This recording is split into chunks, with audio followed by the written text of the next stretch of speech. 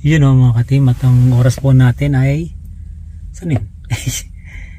Il- Ayan, ang oras po natin ay 11.38 ng ah, gabi. Yan, nandito tayo sa, ano, sa visitor area. Yan, balik doon tayo pa.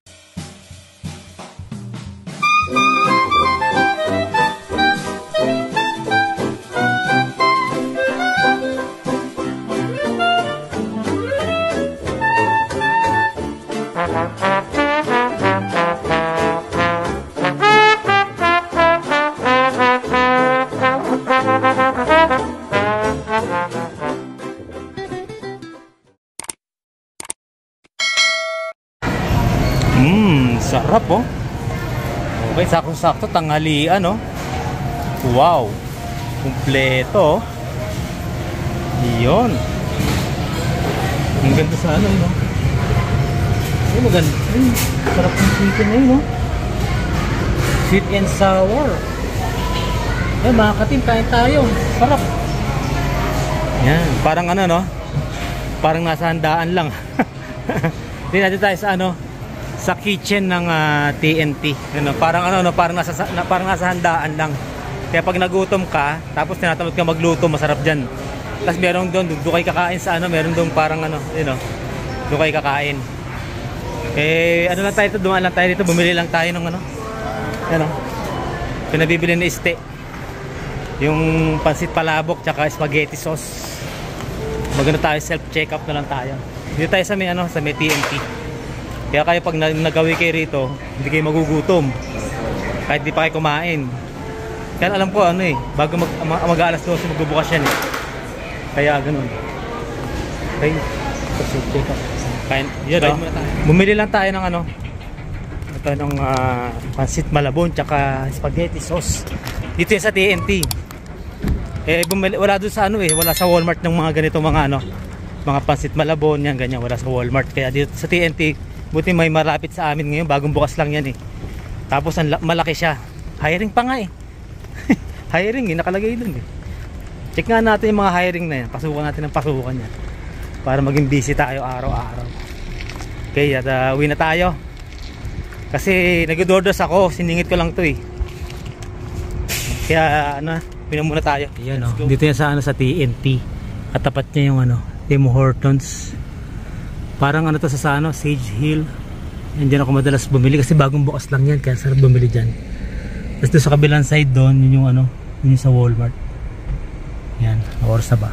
Okay, ta balik na tayo. Let's go.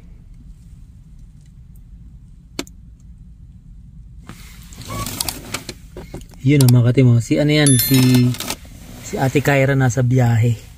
Na? Yan. Bali ano siya. Naka-monitor kay mama. Binantay. Oo. Baby monitor. Hindi na, para alam lang natin yung anak natin kung nasan sila. Diba? Oo. Si Martin tsaka siya kasi naka ano yun, sa iPhone no? Bali Share location. oh, share location. Try nyo rin yan sa mga anak nyo kung gusto nyong ma-monitor sila. Siyempre for safety. Paalam alam lang natin kung nasan sila, no? Kung hindi sila makauwi, alam natin kung nasan silang lugar. Ba't di sila nakauwi? Bakit sila ginabi kung nasan sila? Lalo yun si Kyra, paano punta sa downtown? Hmm. Yan o. Nasa ano na siya eh. Inintay namin siya. eh. Sa bus. Yan. Kaya Nakasakay. umaandar. Oo, galing no. Maandar siya talaga. Yan. oh. Yan. Try nyo rin yan sa mga ano yung mga natin sa may Canada may mga anak. Pwede din sa Canada sa iPhone yan eh. Basta iPhone siya, no? Yun. Mamamonitor mo yung ano. Centers. Center Street na siya. Yan. Nandito kami ngayon sa ano. Yan yung dating teams ni Stay nandun sa may dulo. Eh, hindi namin si Shakira para sinundo na namin siya. Dilim na. Ano oras na ba? Alas 11 na, alis ka pa. 10.49 na. May lakad pa ako. Yun yung bus niya eh. Ayun, ayun. Yan dito yung ano yung ah, mga katim. Yan si Shakira. Yan si Ate Kyra oh. Ayan oh. Oo. Oh, oh. Lakwachera oh. Hmm. Sakto sakto pala yung punta namin eh no. Yan. Madilim lang, madilim, madilim. Dito tayo sa ano. Nakashare kay Mama Lupita. Oo nga. eh. Well, yun yung mga sinasabi namin sa'yo pag nakashare yung location madali nating ma pag yun naghintay tayo sa mga bus madali na natin siya makita yan uy dandami nasa mga ano pala So, ayun na nga. Ayun na si Kyra. nagsigaran siya sa lakwatsahan eh sa Lakwatsa. Saka gusto nila tumatambay sa library, tapos magkikita-kita kasi nga naka-online. kaya nga Pwede naman na silang mag, ano, in class. oh, social. Pero parang weekly, gusto nila magkita-kita magkakaibigan. Mga hindi ako ano, dyan eh oo, hindi. dito ako Pa doon ka sa kabila. nalayo pa Birthday celebrations in Istria. Ah, oo nga pala, ano, birthday.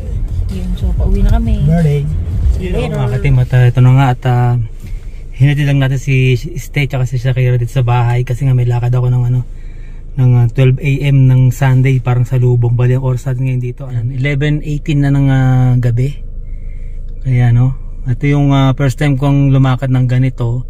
First time ko na ano na ma-interview. Yun nga yung sabi ko kanina na first time ko ma-interview ng ganitong oras. Kakaiba di ba? Interview ng uh, doon sa may ano sa may ina-apply natin bagong trabaho. Yan. Sabihin ko na sa inyo kung saan yun at uh, pare-pare tayong first time natin pumunta ngayon dito. Samahan nyo ako sa pagpunta ron. At uh, oras na ba? 11.19 siguro mga kailangan bago mag, ano, mag 12 a.m. nandun na tayo. Kasi yun yung usapan na i-interview ako ng pinaka team lead nila. Yan ito first time ko talaga ma-interview ng ganito na sa 4 years ko dun sa dating trabaho. Tapos ngayon uli ako ma-interview uli ako. Tapos ganitong oras pa. Kaya kakaiba talaga. Sana experience to. Kaya sana pagdasal natin pagdasal nyo ako na i-good luck nyo ako na kaya natin to. Let's go! Yun o mga katim at ang oras po natin ay Il- Ayan, ang oras po natin ay 11.38 ng ah, gabi. Yan, nandito tayo sa, ano, sa visitor area. Yan, bali doon tayo. pa- Mamaya pupunta tayo sa ano, yung pinaka, yan, yung pinaka office nila. First time ko na nagpunta rito. Yan. Wala tayo mamaya doon ng ano. Ang usapan kasi 12 a.m. Eh, hintay-hintay tayo. Medyo advance tayo kasi talagang baka oras-oras sila eh. Baka break time nila yun o ano. Yan, hintayin lang tayo ng konti rito. Yun na nga mga katimo, oh. Malawak naman yung ano, yung pinaka parking area nila kung sakali. Pero dito muna tayo sa visitor parking. Kasi for interview pa naman tayo. Kung papalarin tayo, doon tayo magka-park sa mga ano. Okay naman. Maganda rito, walang problema sa park. Tapos nire-diretso lang siya. Paglabas mo ng Stony, pasok ka na ng cross papuntang cross iron. Dalagpasan mo lang yung cross iron. Ito na yun. Medyo madilim lang yung banda rito kasi walang ganong poste. Pero yung bandang cross iron meron pa. Yan sana, hindi sana, ah, ma- magiging okay, magiging okay. At ah, may kabatayan ng konti pero kakayanin natin to. Eh, dito tayo, pin- pinadala tayo dito ng ano eh. Tinawagan ako, una tinawagan ako ng HR. Yung mismong ah, HR nila. Tapos dun pa lang in-interview na ako. Tapos nung nasabi niya na gusto ng mga tanong, yun, biglang nag-email siya sa akin na punta ako rito ng ganitong araw. Na na-reschedule pa nga to dapat nung 25 pa siya. Na-reschedule siya ng 28 ng Sunday. Kaya sabi ko okay lang sa akin kailangan ko naman yan eh. Tsaka ang una tinatanong nila kung kung meron kang mga naka nakabook o may mga lakad ka na nakabook siya ng mga ilang araw tapos kung may travel ka na nakabook siya ng ilang araw. Pag meron ka nun pag sumagot ka sabi mo meron ka nun ay i-decline nila yung ano, application mo kasi ang, sas- ang sasabihin nila sa'yo na first time ka nag apply kung ma-hire ka, hindi ka pwede ng ano, hindi ka pwedeng pagbigyan ka agad kasi bago ka lang, di ba? Ganun yun. Yun, ganun yun. Kagaya na sinabi ko na may lakad ako, sabi ko meron akong naka-schedule na lakad. Sabi ko mga ilang araw lang naman, Friday tsaka Monday lang naman. E kaya lang syempre hanggang, hanggang weekend may pasok sila. Sabi sa akin, ay kung meron ka palang lakad na ganun, i-decline ko na tong application mo. Agad-agad ko sinabi na, hindi, okay nang i-cancel ko yun. Importante sa akin tong ano, tong, ah, ah, tong ina-applyan ko. Kaya muntik na, i-decline niya talaga. Pag ganun meron ka mga book, nakabook. Kasi siyempre first time ka, tapos mag-off ka agad. Kaya ganun. Yan, ito. Hintayin lang tayo ng konti. Bali, 11.41 na. Mga siguro saktong ah, bago mag-12. Katok na tayo dun sa pinto. Pakita, pa, papakita ko lang yung ID ko raw na may picture. yung driver's license. Ipakita natin yun. Tapos, hindi ko lang alam kung sino yung team lead nila. Bahala na. Hindi naman tayo pwede mag-vlog dun sa loob. Balitaan ko na lang kay mamaya. Let's go. Hello mga katimot, uh, yun na. naghintay ako ng ano, bali 12 hanggang 12.45 naghintay ako kasi yung supervisor na uh, mag interview sa amin. Bali dalawa pala kami. Isang 12 ako, siya 1. Isakto pagdating niya ng 1, tsaka pala kami mag-uumpisa. Kasi busy nga sa loob, kaya natagalan kaming umano. Yan, okay naman yung nag-interview sa amin, mabait naman. Tapos inikot niya kami dun sa buong area. Ano pala to? Uh, pa, bali isa sa company nila na ano to na sa freezer yung, uh, yung mga malalamig na goods dito pala yon iba-iba pala yan merong dry dito itong pinas, napasukan ko yung malalamig na ano siya sa malalamig parang negative 30 to 40 lamig naramdaman namin di pero manipis lang yung suot namin umikot na kami dun sa loob at uh, yun maraming salamat naman at nakita ko na area okay naman tapos binuhat namin yung mga pinakamabigat niya nung binuhat ko okay naman kaya naman tapos ang maganda ron, meron siyang ano, meron siyang sasakyan na hindi yung magtutulak ka ng mabigat, hindi, meron kang sasakyan. Tapos nag-iipon ka. Barang ano siya, uh, order picker ang tawag doon. Tapos no, yun lang at uh, maghintay tayo ng ano ng uh, tawag. Katatapos lang ng ano natin, ano oras na ba? Yan bali ano mga katim mo. Oh, 151 na. Nandito tayo ng ano ng 11:30 tayo nandito. Pumasok tayo ng 12 tapos na nag-interview tayo ng 1 nag-ikot tayo ng uh, ah, 1.30 yan ilang minuto lang inikot namin yun okay naman kaya yun at uh, babalita ako na lang yung mga susunod na mga araw hanggang sa yun kung hintayin natin yung call sabi nila yan bali hintay, ano daw eh 5 uh, ah, working days hintayin natin yung call sana ma hindi ko ma-miss yung call nila pero nag-ano naman sila eh nagre-return nag, uh, nagre-return call naman sila kung sakaling ano yun, ganun na mga team at uh, ano oras na, madaling araw. First time ko na interview nito. Na ganito, madaling araw ako in-interview. sa ano, pero okay naman at uh, okay na, walang problema. Sana tuloy-tuloy na tayo. At balitaan ko na lang kayo sa mga susunod na mga darating na araw. Maraming salamat. Sa 4 years kung hindi pag apply kasi 4 years inabot, 4 years ako dito sa ano, warehouse eh. Sa 4 years na hindi ako nag-apply, kinabahan na naman tayo, syempre. Kasi magi-English tayo, di ba? Sabi ko, nag-iisip talaga ako kasi nasabi ko, stay yan eh. Sabi ko, interview. Ilang years na ako hindi na-interview. Tapos, syempre, English yun. Kasi dito sa warehouse na to, ano eh, Pilipina eh. Si Madam eh. Si Madam ang na Pilipina nag-interview sa akin dyan, kaya walang problema eh. Kaya hindi tayo na, nose, na nosebleed dyan eh. Itong kinakabahan ko itong isa, hindi naman tayo ganun kagaling sa English, 'di ba? Ang English ang English lang naman natin mga basic basic lang. Tapos hindi naman tayo nahasa kasi puro Pinoy din yung kasama natin. 'Di ba? Nga namang Pinoy kasama mo, English ka na English, hindi ka naman talaga nag-English. 'Di ba? Ang nangyari sa atin eh, ang English natin mga basic lang. Pero mas masarap ano mga kung yung mga ano diyan may nagtanong sa akin niya tungkol sa English pero huwag kayo mag-alala rito. Basta ang kausap nyo, taga rito o ibang lahi, eh wala kayo okay problema sa English. Magkakaintindihan kayo. Kasi pareho kayong ano eh. Pareho naman kayong barok-barok mag ano, mag-English eh. Pareho lang kayo ng kaya lang ang pagkakaiba lang sa English. Yung basic natin, sa basic nila magkaiba. Iba yung tunog. Kagaya nung sa nakaraang naanohan ko, yung pitchel sa atin, ano sa kanila, barrel. May pagkakaiba yung basic natin sa basic na English nila. Pero magkakaintindihan kayo, mas maganda yon mas okay yun. Mas uh, hindi ka mahihiya. Pagka, pagka taga rito o ibang lahi na nag-Inglesan lang hindi ka mahihiya makipag-Inglesan pero kasi pag sa kapwa natin iko-correct ka nyan tsaka nakakaya pag sa kapwa natin kasi mga ano yan alam mo naman sa Inglesan diba hindi kagalingan din yung mga kapwa natin Pinoy. Kaya sabi ko yun nga sabi kong ganun ano Naku, interview na ako. Tagal ilang araw ko rin iniisip kasi 2 days bago mag-interview tayo. Dinunong nando na nga ako, okay na, hinihintay na. Tapos nakita ko pa dalawa pa kami, kinabahan ako ng doble kasi baka pagbiliin lang eh. Ah, 'di ba? Di nando na tayo. Siyempre yung kaba natin, siyempre 'di ba, no? Sabi English na naman 'to, baka ma-nosebleed ako. Kasi minsan may mga English na pagdunggaling do sa question. Siyempre, siyempre malalalim na English 'yun eh. Pero sabi ko bahala na. Importante, eh, sinubukan ko. Siyempre sa ilang years na 4 years akong nang, hindi na interview nung last 4 years ago taga ano Pilipina yung nag-interview sa atin walang problema eh ito syempre iba, iba to Walmart to eh di bihira naman Pinoy dyan Pinoy dyan mga nagkatrabaho pero yung yung mga team leader, mga supervisor, hindi natin alam eh. Yun nga, nandun na. Nung na-interview na tayo, okay naman. Mabait naman siya. Ang nang ano doon, mabait naman. But tsaka yung intindi, in, naiintindihan ko yung English niya.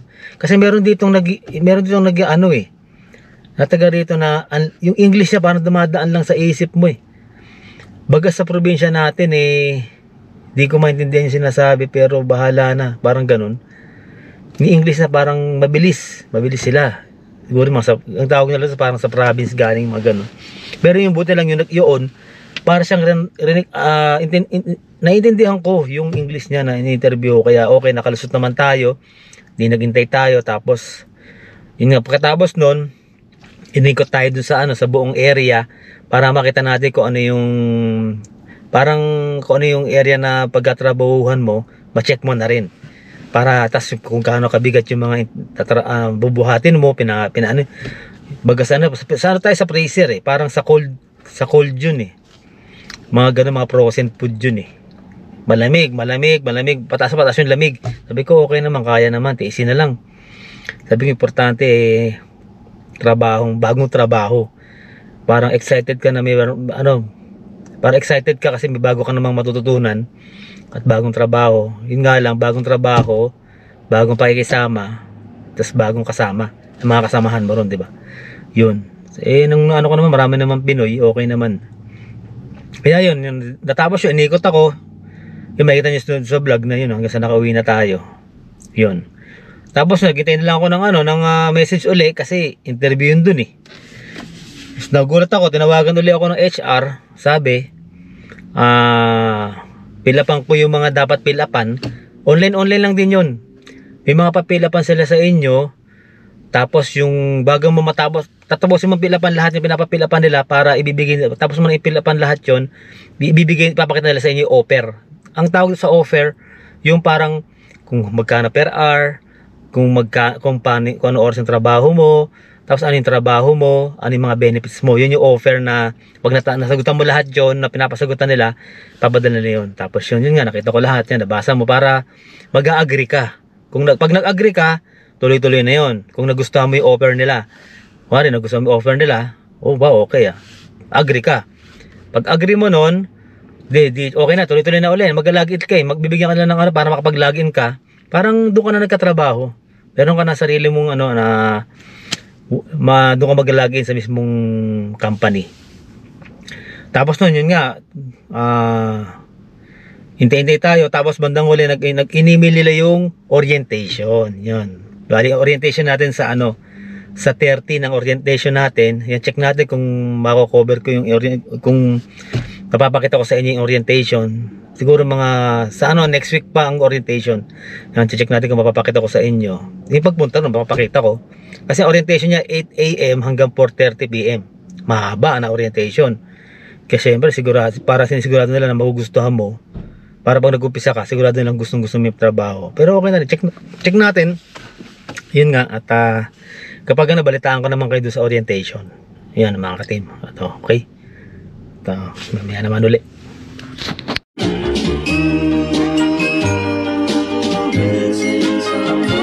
Missing someone